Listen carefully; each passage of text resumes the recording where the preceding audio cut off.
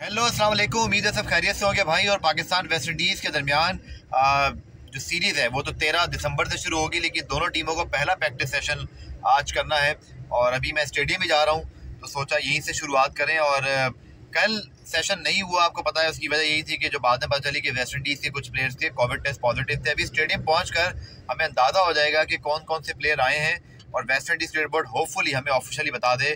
So I am on the way to the national stadium Karachi और वहाँ पहुँच के फिर आपके साथ विजुअल्स भी शेयर करता हूँ और साथ साथ आपको ताज़ा तीन अपडेट भी फ्राहम करता हूँ। सो जनाब, जो लोग कराची से हैं, वो तो फ़ौर पहचान के होंगे। ये बलोच कॉलोनी का स्टॉप है और आगे आप देख सकते हैं कि ई स्टेडियम की तरफ़ रास्ता जाता है कारसाज से होता हुआ। और आज तो चूँकि वीकेंड है तो इतना ज़्यादा रश नहीं है, वरना ये बड़ा पीक टाइम है जिस वक्त रश होता है। सो सोचा जो लोग कराची से बाहर से देख रहे हैं वी लोग उनको ज़रा कुछ कराची की सैर भी करा दूँ।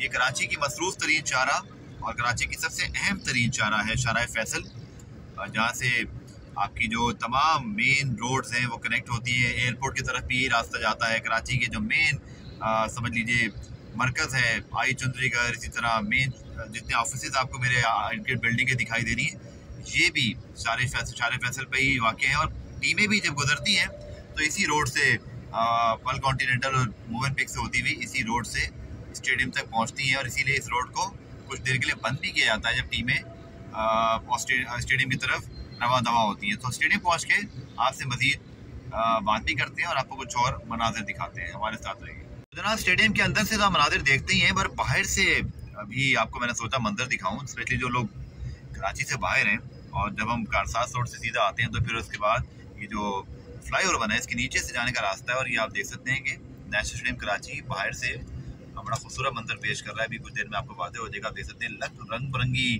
जो लाइट्स हैं, वो जगमगा रही हैं बरकी कुमकुम में।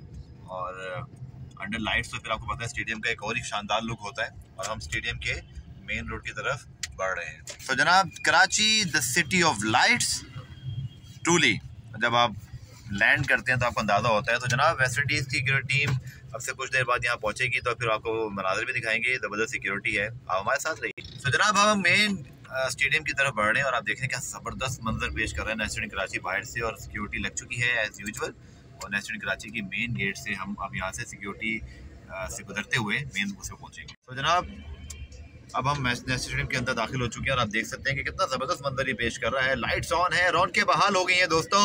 सो आप सोच क्या रहे हैं जो कराची से हैं?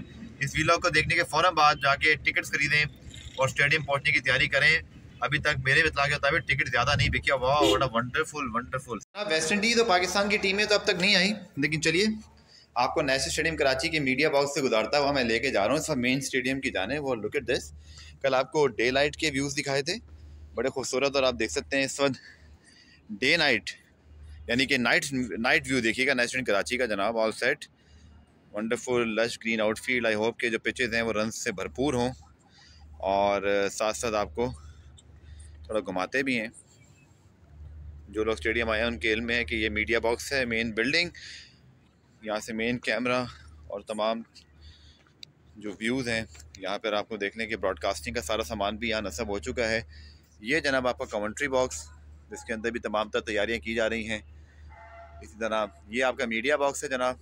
ये मीडिया बॉक्स का इलेक्ट्रॉनिक प्रिंट मीडिया का जो सेक्शन है, वो है। और ये जो सेक्शन है, ये नाम है जनाब इलेक्ट्रॉनिक मीडिया के।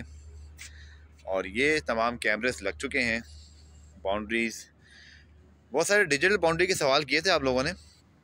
फ़िलहाल तो मुझे डिजिटल बाउंड्रीज़ नहीं दिखाई दे रही बट लेट्स सी कि आज मैच में टाइम बाकी है और कैमरास यहाँ पे नसब हैं। तो जनाब, ये अब तक की अपडेट है। वेदर शैदर आपको पता है, कराची का क्लियर होता है, कोई टेंशन नहीं वेदर की। But West Indies Pakistan team की इस पर आमद का वेट हो रहा है। जैसे ही वो आते हैं, फिर आपके साथ बदी बात। तो जनाब, ये ट्रेडमार्क स्टाइल है पाकिस्तान की टीम का, जहाँ प्रैक्टिस करते हैं, पाकिस्तान का झंडा लगाते हैं। तो यहाँ भी प्रैक्टिस से पहले पाकिस्तान के परचम को ले जाकर लगाया जा रहा है, जो पाकिस्तान का स्टाइल है, चाहे आप यू में देखें, बांग्लादेश में देखें, या आज नेशनल कराची के अंदर। तो ये जाकर कौमी झंडा, पाकिस्तान का सब दिलाली परचम लगा दिया गया प्रैक्टिस से पहले और दोनों टीमें अब प्रैक्टिस के लिए पूरी तरह तैयारी पकड़ चुकी हैं। सो so, जनाब फाइनली दोनों टीमों की जो है प्रैक्टिस का आगाज़ हो चुका है। पाकिस्तान की टीम जो है वो वार्म अप करने के बाद अब खिलाड़ी प्रैक्टिस करना शुरू हो गए हैं। वेस्ट इंडीज़ की टीम के खिलाड़ी भी इसी असना में तैयारी पकड़ रहे हैं। और आप देख सकते हैं कि पाकिस्तान की टीम को मैं आपको क्लोज करके दिखाता हूँ। तो आप देखिए कि पाकिस्तान की टीम इस सीरीज़ के लिए तैयार है। काफ़ी नौजवान खिलाड़ियों को इस सीरीज़ के लिए शामिल किया गया है। बहुत सारे सीनियर खिलाड़ी जिनमें हफीज़ हैं शुएब मलिक हैं। इसी तरह अगर हम बात करें हसन अली की सरफराज अहमद की बहुत सारे खिलाड़ी को रेस्ट दिया गया। तो बहुत सारे नौजवान क्रिकेटर्स शामिल हैं। शाह नवाज़ धानी हैं, हैदर अली हैं, अब्दुल्ला शफीक हैं। इसी तरह उस्मान कादिर हैं, जिनको इस सीरीज़ में ज़रूर मौका मिलना भी चाहिए और इंशाल्लाह मुझे लगता है मिलेगा भी। और आप देख सकते हैं कि नेशनल कराची के अंदर पाकिस्तान और वेस्ट इंडीज़ की टीमें प्रॉपर प्रैक्टिस कर रही हैं। और दूसरी जानब आपको मैं वेस्ट इंडीज़ की टीम की जानब लेके चलता हूँ। इनके कैंप से एक ख़बर का इंतज़ार है कि इनकी जो कम अज़ कम दो लोगों के मुतालिक मुझे मालूम है कि दो टेस्ट पॉजिटिव आए हैं बट अब तक वेस्ट इंडीज़ क्रिकेट बोर्ड ने ऑफिशियली इस बारे में आगाह नहीं किया। उन्होंने ये दो मरतबा कहा ज़रूर है कि वो इस बारे में कोई ब्रीफिंग देंगे मेडिकल का इशू है लेकिन इस बारे में अभी तक कोई सरकारी बयान जारी नहीं किया गया जिसकी वजह से जो है वो आ, कुछ एक सहाफ़ियों के अंदर कहते हैं ना अवेटिंग वाली फीलिंग है। लेकिन टीम मौजूद है, अच्छी बात यह कि पाकिस्तान में इंटरनेशनल क्रिकेट की बहाली और वेस्ट इंडीज़ का हमें शुक्रिया अदा करना चाहिए। हमेशा वेस्ट इंडीज़ ने पाकिस्तान क्रिकेट बोर्ड का साथ दिया है और आप देख सकते हैं कि इस वक्त वेस्ट इंडीज़ क्रिकेट टीम जो है वो वार्म सेशन में मसरूफ़ है और जैसे ही ये दोबारा से प्रॉपर ट्रेनिंग आगाज़ करते हैं तो फुटेज आपको दिखाऊँगा। यहाँ देख सकते हैं कि पाकिस्तान टीम भी एक ग्रुप की सूरत में अपनी ट्रेनिंग सेशन के लिए पूरी तरह तैयारी पकड़ रही है। तो जनाब नेशनल स्टेडियम कराची में बिलाखिर रौनकें जो है बहाल हैं और इंटरनेशनल क्रिकेट के लिए तमाम तर तैयारियाँ जो है मुकम्मल कर ली गई हैं। पाकिस्तान और वेस्ट इंडीज़ की टीमों के दरमियान पहला टी ट्वेंटी इंटरनेशनल मैच तेरह दिसंबर को यहाँ पर खेला जाना है। उससे पहले दोनों टीमें आज स्टेडियम पहुँची हैं। कल पहला प्रैक्टिस सेशन नहीं हो सका था, लेकिन आज दोनों टीमें मौजूद हैं। और आप मेरे कब में देख सकते हैं कि वेस्ट इंडीज़ की टीम मेरे राइट हैंड पे पर प्रैक्टिस कर रही है। और अभी ये मालूम नहीं है कि इनके जो कुछ प्लेयर्स के हवाले से कोविड टेस्ट के मामला रिपोर्ट हुए हैं और उनमें हकीकत भी है। क्योंकि मेरे पास भी इतला है कि कम अज़ कम दो खिलाड़ियों या ऑफिसर के टेस्ट पॉजिटिव हैं, लेकिन अभी कोई कंफर्मेशन नहीं दी। उनकी एडवाइजरी का वेट कर रहे हैं। दूसरी जगह देख सकते हैं राइट हैंड पे पाकिस्तान की जो टीम इस पर प्रैक्टिस कर रही है। हेड कोच अकलाम मुश्ताक की निगरानी में और आपको पता है कि ज़्यादातर नौजवान खिलाड़ियों को इस सीरीज़ के लिए पाकिस्तान टीम में शामिल किया गया है। और एक बड़ी अच्छी अपॉर्चुनिटी है तमाम प्लेयर्स के पास। क्योंकि तमाम ही सीनियर प्लेयर्स को जो है वो रेस्ट करवाया गया है और इन लड़कों को यहाँ जो अपॉर्चुनिटी मिली है, अच्छी कारकर्दगी दिखाकर, पाकिस्तान सुपर लीग के ड्राफ्ट भी कल हो रहे हैं तो एक अच्छी अपॉर्चुनिटी इन बिलहाद मजमू है तमाम जूनियर प्लेयर्स के पास कि वो पाकिस्तान का जो एक ग्रैंड होम सीज़न अगले साल आ रहा है, जिसमें ऑस्ट्रेलिया की टीम फरवरी में यहाँ आएगी। उसके बाद आपको पता है कि इंग्लैंड ने पाकिस्तान का दौरा करना है, वर्ल्ड कप से पहले न्यूजीलैंड भी एक्सपेक्टेड है। तो ये एक बहुत बड़ी अपॉर्चुनिटी है पाकिस्तान की इन तमाम नौजवान प्लेयर्स के पास कि इस होम सीरीज़ में अपनी विकटों पर अच्छी कारकर्दगी दिखाएँ। जहाँ तक आप देख सकते हैं कि बीच की जो चार से पाँच विकेट्स हैं, उनको जो है वो कवर्ड किया गया और यही वो विकटें हैं जहाँ जिनको जो है प्रिपेयर किया गया for the T twenty and one day series और हमें तो यही बताया गया और होना भी चाहिए कि एक हाई स्कोरिंग मैचेस यहाँ पर रहें और ताकि क्राउड और जो देखने वाले हैं टेलीविज़न पे उनको एक हाई स्कोरिंग मैचेस मिले। लेकिन लेट्स सी जब ये एक्शन बिगेन होता है तो फिर क्या मामला होते हैं। लेकिन आ, जो अब तक कितना है वो यही है कि अच्छे बैटिंग पैराडाइज होंगे। आप सबसे भी मेरी दरख्वास्त है स्पेशली कराची के लोगों से, कि अभी तक क्रिकेट, जो हमें पता चला है कि जो टिकट की रिस्पॉन्स है सेल वो इतनी अच्छी नहीं है।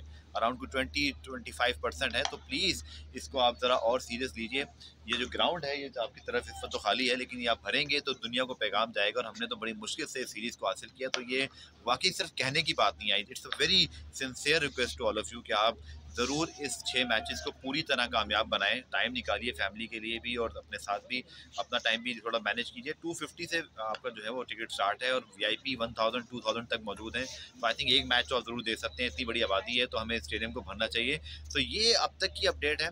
और आप चैनल को ज़रूर सब्सक्राइब कीजिए ताकि आपके पास जितनी इस प्रैक्टिस सेशन के अंदर कुछ और माइनर डिटेल्स हैं, कौन कैसे प्रैक्टिस कर रहा है किसकी क्या प्लान्स रहे हैं और इसी तरह किन नौजवान खिलाड़ियों ने किस अंदाज से प्रैक्टिस की है, ये आपको डिटेल वीडियो भी आने वाले घंटों में मिलती रहेंगी। तो तमाम वीडियोज़ को देखिए लाइक कीजिए और कॉमेंट कीजिए। आप सबका बहुत बहुत शुक्रिया।